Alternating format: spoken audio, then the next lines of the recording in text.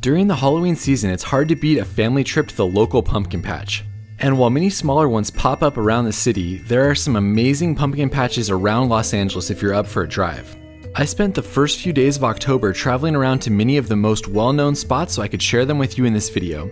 Here are 5 great pumpkin patches near Los Angeles and let me know if I left one off in the comments.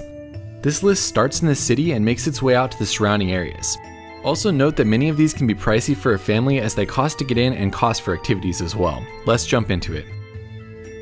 First up, Mr. Bones is probably one of the best pumpkin patches that's in Los Angeles itself. Mr. Bones has been an LA staple for a few decades now, moving from Beverly Hills to where it now sits in Culver City.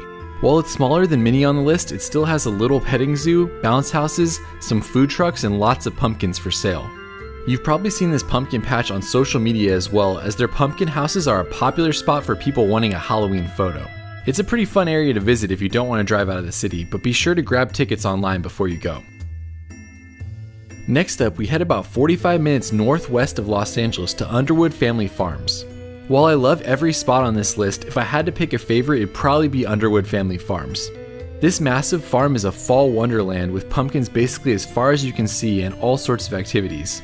They also had a pumpkin house, many different rides, lots of photo opportunities, and a great animal area. They go all out on their weekly fall harvest events as well, which have pig races and lots of other fun activities for the whole family. Do check the dates online if you want to attend one of those, but it is great on the weekdays as well when it's less busy. They also have some of the biggest pumpkins I've ever seen here as well, and overall it's a great pumpkin patch that's well worth the drive. Heading east from Los Angeles, the next spot is the Cal Poly Pomona Pumpkin Festival. This pumpkin patch and festival housed on the school campus is popular every year, and if you want to get tickets, be sure to do that online before you go.